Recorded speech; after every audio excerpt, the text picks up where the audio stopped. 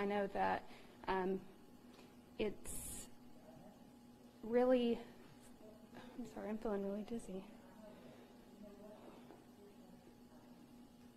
Oh, I'm sorry.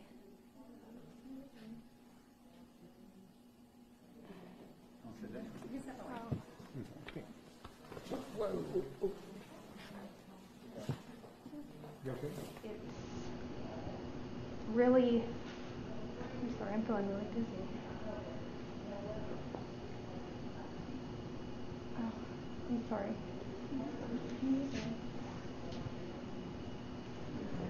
I'll sit down. You can step away.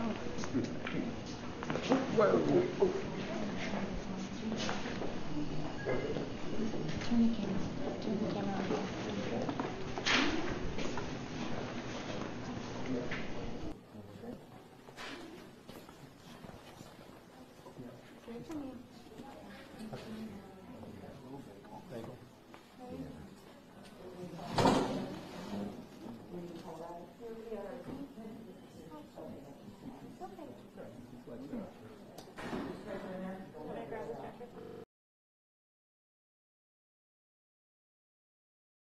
And where, what part, what unit do you work in? Yeah.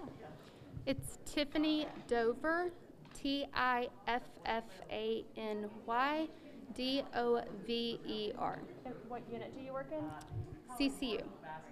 So I guess just talk to us a little bit about what just happened after passing out after taking the vaccine. Okay, so I had a syncopal episode. Um, I have a history of having an overactive um, vagal response. And so, with that, um, if I have pain from anything, hangnail, or if I stub my toe, I can just pass out. So, um, what happened is I started getting, I get an aura before of feeling weak, dizzy, disoriented, um, and it just, you know, hit me all of a sudden. Um, just felt really diaphoretic and I could feel it coming on, so I felt a little disoriented. But I feel fine now. And the pain in my arm is very minimal, actually, but it doesn't take much. So So you feel fine now? I feel fine now. And this is, you know, I have passed out probably six times in the past six weeks. You know, I, it's common for me. Okay. Yeah. No regret taking the vaccine. No, no. I mean, like I said, a hangnail can cause me to have this. So this is common.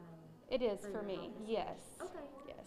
Um, typically, like I said, I can feel it coming on, and I could, but I was trying to push through, but, you know. Thank you. Okay. Thanks for talking. Well, yeah, thank you so much. I appreciate it. Around to be monitored for a few minutes. One of those is in case you have an allergic reaction that's exceptionally rare with any vaccine, but theoretically possible. So we recommend being on the safe side with that. If people have a, a, a history of having hypersensitivity reactions, not of an allergic nature, but getting nervous or uh, or getting a little bit lightheaded after a painful stimulus, sometimes just sitting down for 10 minutes before getting back up is, is advisable and uh, uh, can prevent this kind of thing from happening because translating the blood pressure can just lower a little bit basically just from an increased vagal tone to the to the nervous system. So what do you think was the case here? uh, I think that she uh, got a shot in the arm and made her feel a little bit lightheaded and uh, she's recovered now. It's happened before apparently Okay. So this this is normal behavior for this person. It, it is it is a, uh, a reaction that can happen very frequently with, with any vaccine, with a shot of any kind. There's no reason to be concerned with the vaccine. Kind of like if you've been uh, if you've been to the doctor and had blood work done before. Some people get a little lightheaded when they see Yeah. the needle going into their skin. This is the identical kind of reaction. Yeah, no reason to suspect that that's due to the vaccine whatsoever. But if you're afraid of needles or have a history of uh, getting a little bit worked up or, or sensitive around needles, take a minute afterwards and catch your breath. All right. if that did happen to somebody, like, what's the,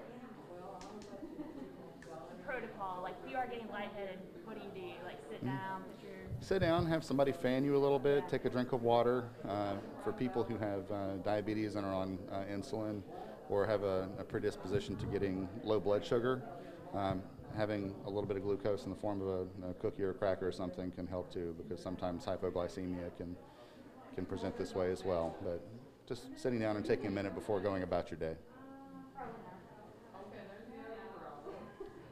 All right.